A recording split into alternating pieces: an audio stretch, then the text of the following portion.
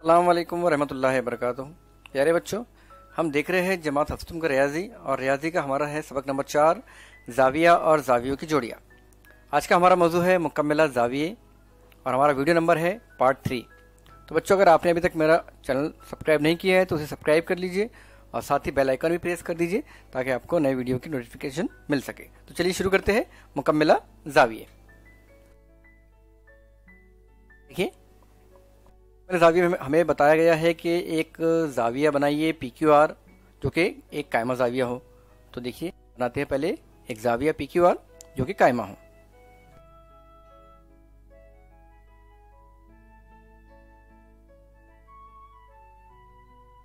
नज़र आ रहा है हमें कायमा। हम इसे चेक भी करेंगे कि वाकई में कायमा जाविया बना है या नहीं बना है। अंदरूनी हिस्से में एक एस कोई नुकता लेने का है हमें। नाम दे दें हम, जाविया पी, क्यू, आर, क्यू को हम जाविये के दरमियान में लेंगे। बिल्कुल यहाँ पर इसे नुकता लेंगे और दो शुआएँ निकलेंगी यहाँ से। और इसका अंदरून में एक नुकता एस ले लिया हमने। और यहाँ से एक शुआ, क्यू, एस खींच लिए। बाद में पी, क्यू, एस और एस, क्यू, आर की पैमाइशों की जमा करना है हमें। ये पी, क्यू, एस और एस क्यू आर इन दोनों की पैमाइशों की हमें जमा करना है कि उनका मजमू कितना होता है। चलिए देखते हैं। यहाँ पे हमने हमारा चांदा रख दिए। हम एस क्यू आर की पैमाइश गिनना शुरू करेंगे। चा, चांदे का जो दरमियान नुकता है वो क्यू पे रहेगा। और यहाँ से बेस से हम शुरू करेंगे गिनना। दस बीस तीस चालीस एंड तो एस क्यू आर की पैमाइश हमें यहाँ पे नज़र आ रही है पचास। और एस की देखते हैं हम। यहाँ से पचास के आगे गिनना शुरू करते हैं। तो साठ तक दस, सत्तर तक बीस, तीस एंड चालीस। तो पी क्यू एस हमें चालीस का नज़र आ रहा है, यानी एस क्यू आर पचास का नज़र आया और पी क्यू एस चालीस का नज़र आया। इनकी जमा किए तो इनका मजमू हो जाएगा नब्बे। तो क्या कहलाएँगे? वो जाविये एक दूसरे के मुकम्मला जाविये कहलाएँगे, यानी कम्प्लीमेंट्री एंगल्स कहेंगे उन्हें हम। ऐसे जाविये जिनकी दो जावियों की पैमाइश का मजमु नब्बे डिग्री होता है। यहाँ पी क्यू एस और एस क्यू आर एक दूसरे के मुकम्मला जाविये हैं, क्योंकि उनकी पैमाइश का मजमु नब्बे दर्जे हो रहा है। चलिए आगे बढ़ के देखते हैं। देखिए, हमें मिसाल हल करना है। शक्ल में जावियों का मुशाहिदा कीजिए और चौकों ने मुनासिब अदद लिखिए major angle A B C यहाँ पे देखिए ए बी सी यहाँ पे एक एंगल है। उसकी पैमाइश यहाँ पे अंदर लिखी हुई गई है। कितनी है? चालीस दर्जे है। तो हम यहाँ लिख लेंगे चालीस। उसके बाद में major angle P Q R P Q R यहाँ भी उसकी पैमाइश अंदर लिखी गई है।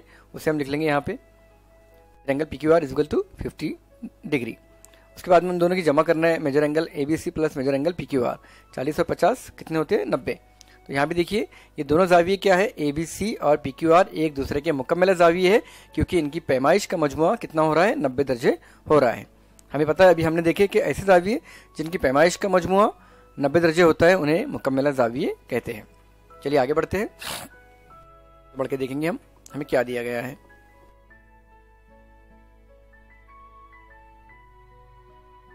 सवाल एक है, सत्तर दर्जे पैमाइश के जाविये की, मुकम्मल जाविये की पैमाइश कितनी होगी? एक जाविया है जिसकी पैमाइश सत्तर दर्जे है और उसका मुकम्मल जाविया हमें पता करना है। बहुत ही आसान है, हम जबानी भी कर सकते हैं, लेकिन हम देखेंगे तरीके से। फ़र्ज़ कीजिए, दिए हुए जाविये की, मुकम्मल जाविये की पैमाइश एक्स दर्जे है, यानी सत्तर दर्जे का जो मुकम्मल जाविया है, उसकी पैमाइश हम एक्स फ़र्ज़ करेंगे। तो एक्स प्लस सत्तर इजुगल टू नब्बे। देखिए, सत्तर प्लस एक्स या एक्स प्लस सत्तर बात एक ही है इजुगल टू नब्बे। अब यहाँ से क्या होगा, हमें एक्स मालूम करना है। सत्तर तो ऑलरेडी दिया गया है और नब्बे मुकम्मल जावियों की पैमाइश का मजबू होता है। तो हम एक्स को यहाँ पर रहने देंगे और सत्तर को इधर भेज देंगे। ये जमा इधर गया तो नफ़ी हो गया और सत्तर इधर नफ़ी में आ गया।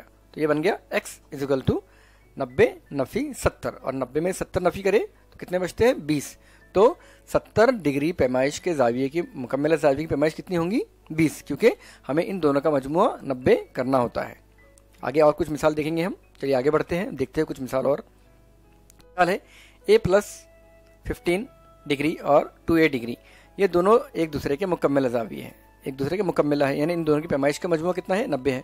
तो हर एक की पैमाइश मालूम कीजिए हमें, हर एक की पैमाइश मालूम करना है। लेंगे पहले।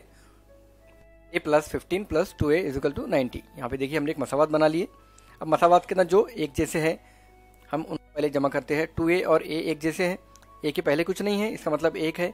तो एक ए और दो ए, यानी तीन ए तीन ए जमा पंद्रह बराबर नब्बे। अब ये पंद्रह को हम उधर भेजेंगे। यहाँ पे जमा में था, उधर गया तो नफ़ी हो जाता है। हमें पता है कि जब कोई अदद जमा से बराबर के उधर जाता है तो नफ़ी होता है। ज़रब से उधर जाता है तो तकसीम होता है। नफ़ी से जाता है उधर तो जमा होता है। और तकसीम से जाता है तो ज़रब होता है। यानी उसका अपोजिट अमल ले लेता है वो। तो लेते हैं तीन ए बराबर नब्बे नफ़ी फिफ्टीन। नब्बे में से पंद्रह नफ़ी करें तो बचेंगे सेवेंटी फाइव, यानी तीन ए बराबर सेवेंटी फाइव। अब यहाँ देखिए, तीन ए जो है, ये ए के ज़रब में है। हमें उसे बराबर के इधर भेजना है तो ये हो जाएगा तकसीम में। देखते हैं, ए बराबर सेवेंटी फाइव तकसीम तीन। अब सत्तर के तीन हिस्से करेंगे हम, या तीन लोगों में तकसीम करेंगे तो आएगा ए बराबर पच्चीस। ए निकाल लिए, अब यहाँ पे हम ए की वैल्यू रखेंगे और हल कर लेंगे, यहाँ भी ए की वैल्यू रखेंगे और हल कर लेंगे। पहले करते हैं। ए जमा फिफ्टीन इज़ इक्वल टू पच्चीस जमा फिफ्टीन पच्चीस क्यों लिए? क्योंकि ए बराबर फिफ्टीन है और यहाँ पे ए दिया है। पच्चीस और पंद्रह की जमा आती है चालीस। दूसरा है टू ए टू ए ज़रब में है तो two into fifteen twenty five is equal to fifty तो यहाँ पे देखिए, ये दोनों के हमने हल निकाल लिए।